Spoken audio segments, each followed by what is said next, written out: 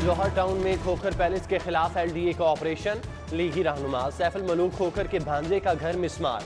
Khokhar palace का अगभी दरवाज़ा और दीवार भी गिरा दी। खोखर पैलेस से मुलहिका। सैफ मार्केट को गिराने का अमल जारी। पुलिस की भारी नफरी मौजूद। तमाम रास्ते कंटेनर्स और बैरियर्स लगाकर बंद। खोखर बरादरान के वकला भी मौजूद। अदालती अहकाम दिखाए। लीगी कारकुन मौके पर पहुँचना शुरू हो गए।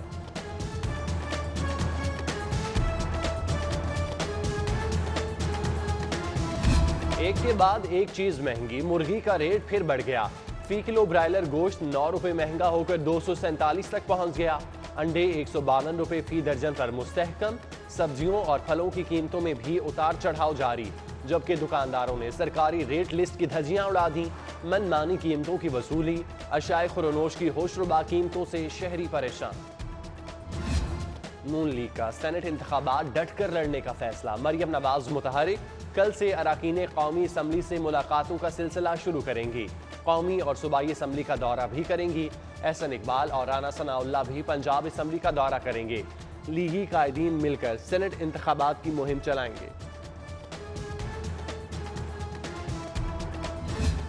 और डिस्ट्रिक्ट एंड सेशन जज हजीला असलम की आज साल गिरा। साथ ही जजेज जुडिशल अफसरान और अज़ीज़ अकारिब की जानब से मुबारकबाद के पैगाम ने ख्वाहिशात का इजहार।